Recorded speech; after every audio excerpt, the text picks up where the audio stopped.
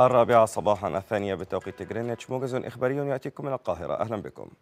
ترأس الرئيس عبد الفتاح السيسي اجتماع المجلس الأعلى للجهات والهيئات القضائية.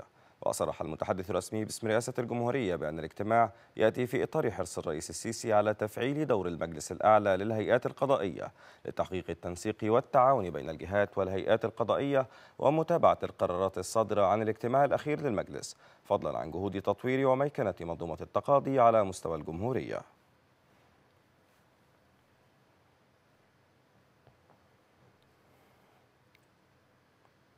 اصطحب رئيس الوزراء مصطفى مدبولي نظيره الأردني بشر الخصاونة والوفد المرافق له في جولة تفقدية لمشاهدة المشروعات التي تشهدها العاصمة الإدارية الجديدة على أرض الواقع.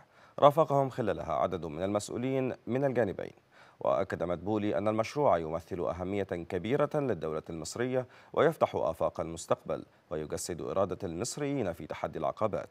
من جانبه أشاد رئيس وزراء الأردن بحجم العمل بالمشروعات والتنفيذ الذي يتم باحترافية ومعايير عصرية مبديا إعجابه بالنسق المعماري المميز لمسجد مصر.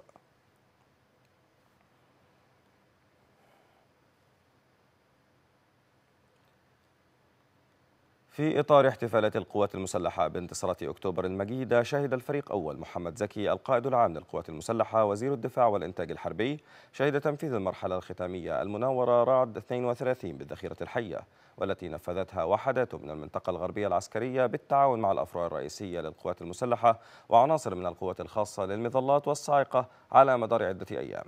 في إطار خطة التدريب القتالي لتشكيلات ووحدات القوات المسلحة بحضور الفريق محمد فريد رئيس أركان حرب القوات المسلحة وقادة الأفرع الرئيسية وعدد من كبار قادة القوات المسلحة وعدد من دارسي الكليات والمعاهد العسكرية.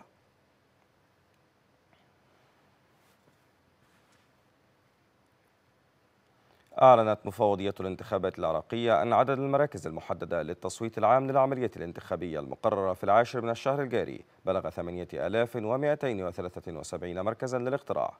وأوضحت المفوضية أنه بحسب قانون الانتخابات الجديد ستفتح محطة واحدة في كل مركز اقتراع ويجري العد والفرز يدويا.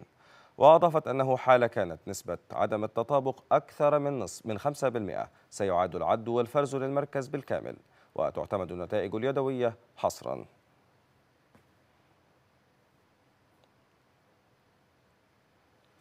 قال وزير الدفاع البريطاني بن والاس إن بلاده تتعرض لهجمات إلكترونية بصورة يومية مهددة بتنفيذ المملكة المتحدة هجمات معاكسة ضد الدول التي ستحاول إلحاق أضرارا ببريطانيا. وقال والاس في حديث لصحيفة ساندي تيليغراف إن إنشاء القوات السيبرانية الوطنية في بريطانيا هدفها حماية البلاد من العمليات السيبرانية في حال كانت خطيرة ومخربة ومضرة داعيا إلى تفعيل آليات التعاون الدولي للتصدي إلى هذه الظاهرة.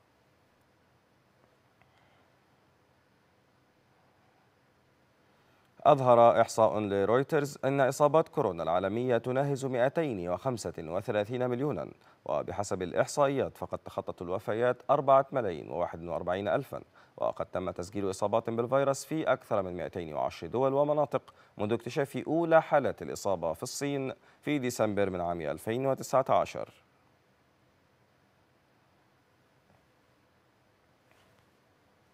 طالبت السلطات الإسبانية آلاف السكان في جزيرة لابالما بالاستمرار في البقاء في المنازل بسبب تدهور جودة الهواء وسط تواصل ثوران البركان.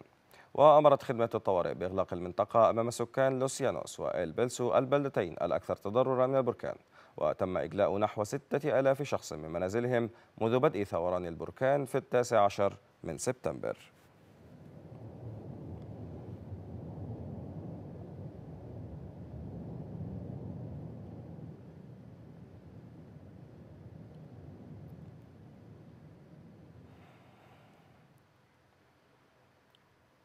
لمزيد من الأخبار يمكنكم متابعة موقعنا على الإنترنت extranews.tv كما يمكنكم متابعتنا على مواقع التواصل الاجتماعي فيسبوك تويتر انستغرام ويوتيوب.